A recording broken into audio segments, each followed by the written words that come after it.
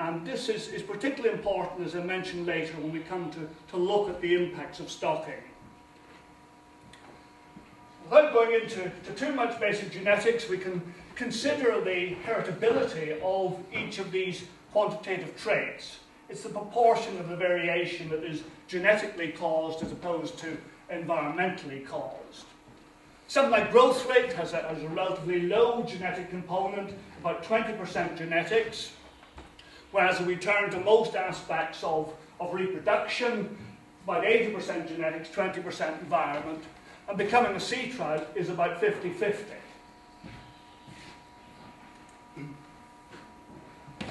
Now,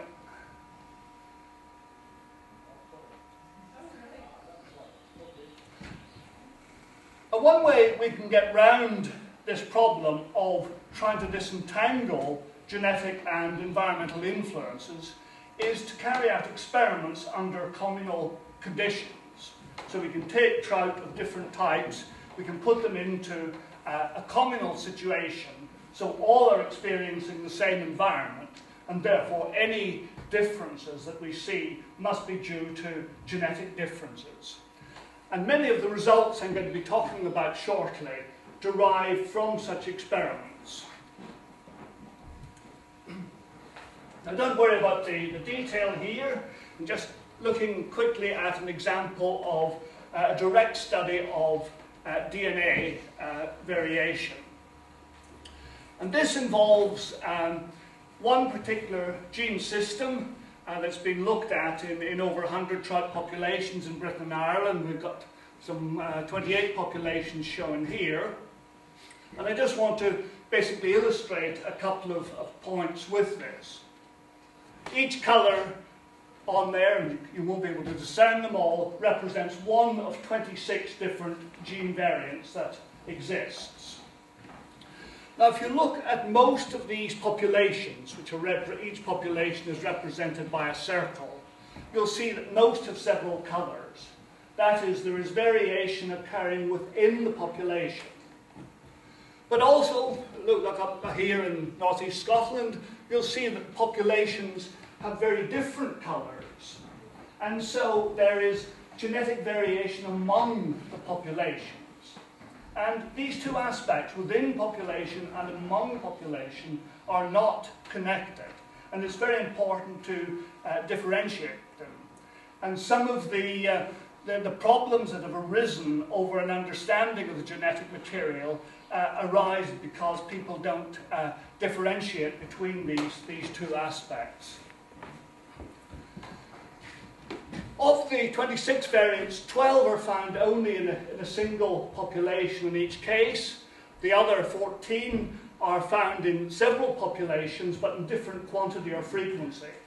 And this is typically what we find for lots of different genes. They either have unique gene variants in each population, or, or you have shared gene variants, but occurring at uh, different frequency. Another example there, just looking at a smaller scale, you can see the variation here within the, the Loch Awe system in Scotland. And I'm sure Eric will have some more examples uh, to show on this as well. So what we see then within Britain and Ireland is extensive genetic variation within and among our trout populations.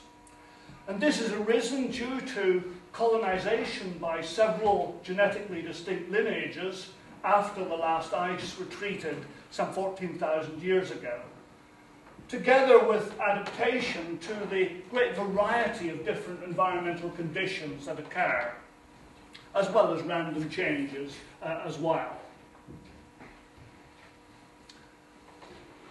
So a lot of genetic variation there. Is, is this really of any importance or is it purely just of, of academic interest?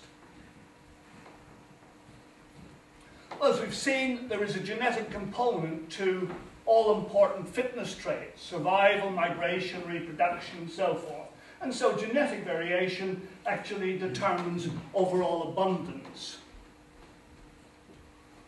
So we can't ignore genetic variation any more than we can ignore habitat and other aspects of environmental quality.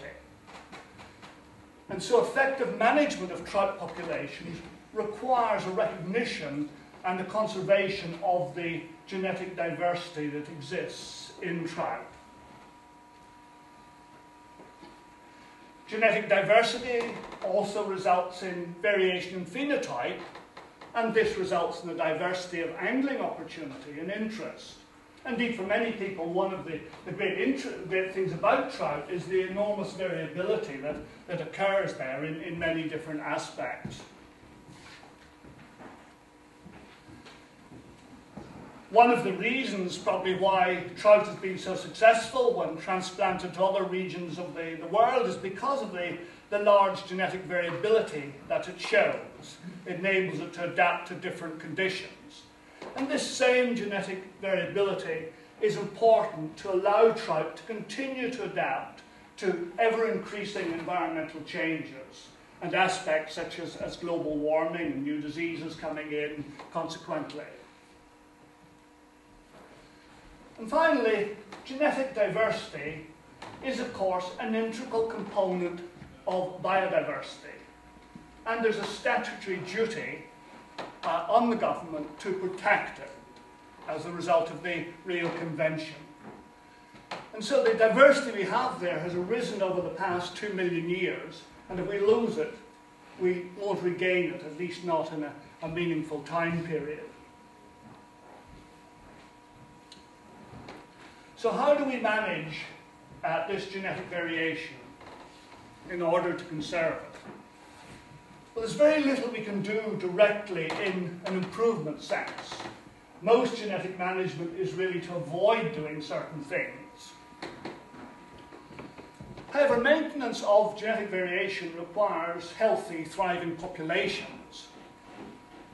And so my, my simple rule of genetic management is basically to look after the habitat and the general environment, and the trout and their genes will happily look after themselves.